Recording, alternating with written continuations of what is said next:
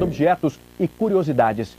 Quem está lá é o repórter Marcos Paiva, com quem nós vamos conversar agora. E aí, Marcos, conta pra gente o que você está fazendo, o que tem de legal para ver aí, rapaz?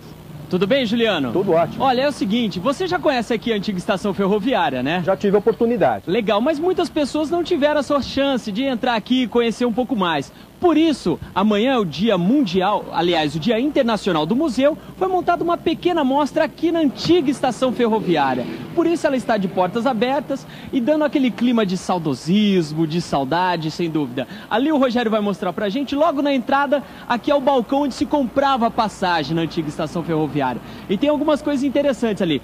Rogério, lá em cima, olha lá, ó passagem de segunda classe, onde eu, onde eu iria viajar se pudesse comprar só de segunda classe mesmo. Fala na Noroeste, na Noroeste Paulista, tem ali de primeira classe, onde o Juliano Tamuro estaria com certeza. a não ser que ele conseguisse comprar um leito ou uma cabine para dormir confortavelmente, né? Não é isso, Henrique? O Juliano iria pagar um pouquinho mais caro se ele fosse viajar de leito ou de cabine, não é não? Pagar mais caro, mas ele ia dormindo, né, Marcos? Ah, tá certo, confortável, né? E aí a gente vai mostrar aqui também, são três exposições aqui, Juliano. Tem essa aqui, que é a exposição de aviação. Oh, mas você deve me perguntar assim, Marcos, o que, que tem aviação a ver com a ferrovia? É que acontece que os ferroviários ajudaram a construir o primeiro hangar aqui em Bauru. Então está muito ligado às duas coisas, não é isso, Henrique? Exatamente. O hangar do Aeroclube de Bauru teve a participação decisiva dos ferroviários em todo aquele entrelaçamento de, de madeira que resiste até hoje. Agora vamos mostrar aqui. Aqui essa mostra aqui é dos ferroviários, não é isso? Vai mostrar um pouco sobre os equipamentos que eles utilizavam, é, o telégrafo, tem essa parte aqui que é do mecanismo assim que eles utilizavam nas estações. Por exemplo, tem essa argola aqui que eu não sei para que que é, mas o Gera... Estende o braço aí, Gera, vamos ver se é bom. É, você fez muito isso. O Gera é da Maria Fumaça, né? Fizemos isso aqui, que é a licença do trem, né? Sem, a, sem o estado, você não sai de lugar. Passava de um lugar para o outro e jogava isso. É seu. É, que isso. E aí agora tem as bandeirinhas aqui que indicavam, por exemplo, olha, é igual um semáforo. Vermelho, não pode passar. Amarelo, passe com cautela. E verde, manda brasa que o negócio tá, tá funcionando. E tem essa parte aqui que é muito legal. Henrique, faça favor aqui. Tem a Cintia aqui também. Ô, Juliano, olha isso aqui, meu amigo. O que, que é isso aí? Esse aqui é uma máquina de calcular, é, uma, é um caixa eletrônico. Olha o tamanho. Eu não consigo, se eu e o Henrique pegar ela, que a gente não consegue levantar.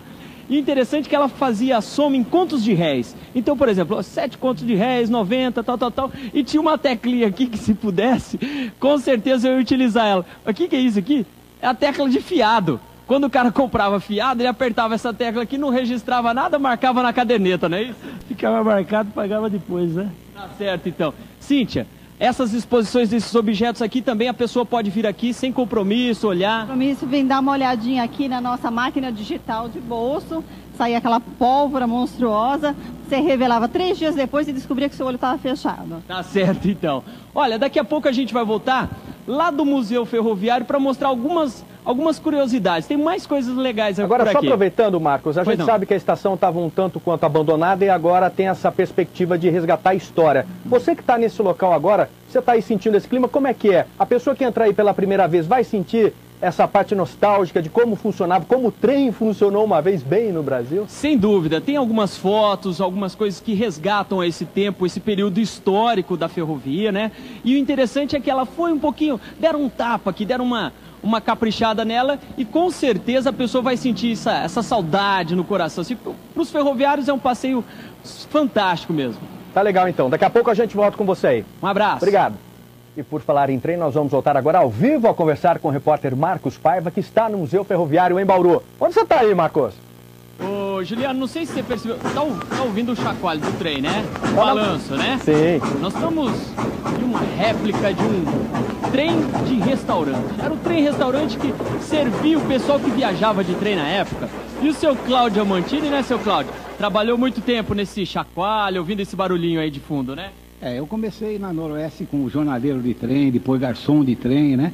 Depois, no, nos anos 65, eu vim a ser concessionário dos carros restaurantes da Noroeste.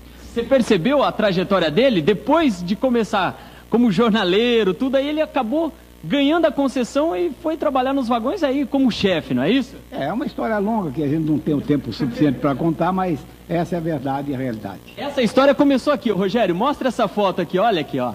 Aqui o seu Cláudio Amantini já como chefe, ele já não era mais garçom, olha, jogando uma tranca com os amigos dentro de um vagão restaurante. Aqui é um vagão interessante, ó, preparado para o café.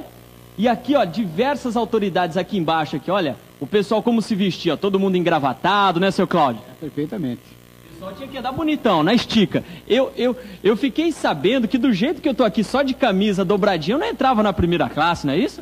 É, antigamente era assim mesmo. Nos carros de primeira classe, se não tivesse paletó e gravata, não entrava. Já que estamos falando de vagão restaurante, já que o senhor preparou tudo isso aqui pra gente, eu quero saber, vou pedir um prato aqui, tem como? Tem, tem, claro. Legal, posso pedir? Vou pedir um, um, filé, um filé mignon a cavalo e um acamões. Ô garçom, faça favor um pouquinho. Olha aqui, temos um garçom aqui. Traz um filé mignon a cavalo e um camões. Quero os dois, tá? Vamos lá, um pro seu Cláudio e um pra mim. Vamos lá? Isso. O Camões tem uma diferença, não é isso, seu Cláudio? Diferença. O Camões é um ovo só. Por que um ovo só? Porque o Camões tinha um olho só. E o zoiudo só vem, só vem com olho aí? Perfeitamente, é isso aí. Poxa vida. Olha aqui o que ele preparou pra gente aqui, ó, pro pessoal notar certinho. Olha aí. Ou, ou filé mignon a. Camões, Camões, ó Camões. Ele vai servir o filé mignon a Camões, olha, com um olho só, hein? O olho, no caso, ô, ô Juliano, esse aqui, se você adivinhar qual que é a, a, mistura aqui, eu te dou a gema, viu? É essa aqui, olha, é, é o zoiudinho aqui. E pra mim, esse aqui. Isso, a Camões. Só que esse aqui eu vou deixar para comer depois, viu? Já já eu venho comer, que eu vou conversar com o pessoal ali. Seu Cláudio, um prazer falar com o senhor. Ô Henrique, para quem quiser conhecer um pouco mais dessa história, igual essa criançada que está aqui visitando, o que, que eles devem fazer? Essa homenagem é em homenagem ao Dia Internacional do Museus, que se comemora amanhã, no, no dia 18. Essas homenagens vão, eles vão até sábado. O museu funciona de, de, de 9 até as, as 18 horas. E os passeios de Maria Fumaça para a comunidade vão acontecer somente no sábado, às 9, às 10, às 11 e às 12. Belo passeio, um programa fantástico para a família, não é isso? Exatamente. A gente está à disposição aqui, recebendo as pessoas e revivendo um pouco da história de Bauru. Tá certo, então. Muito obrigado. Olha, dá licença um pouquinho, vou encerrar aqui com o seu Cláudio. Rogério, vou separar para você um zoiudinho aqui e a gente volta. Até mais, gente. Obrigado. Vamos mandar ver aqui, né, meu? Vamos comer um pouquinho, né? Poxa vida. Juliana, é com você, viu, amigo? É, você tá bem almoçando. Valeu, Marcos. Obrigado. Um abraço. Eu tenho notícia.